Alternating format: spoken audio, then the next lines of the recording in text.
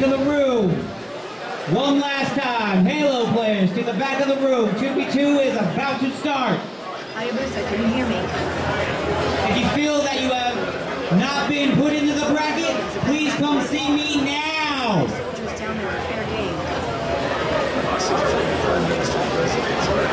Yes, I'll monitor the situation and guide you from the air.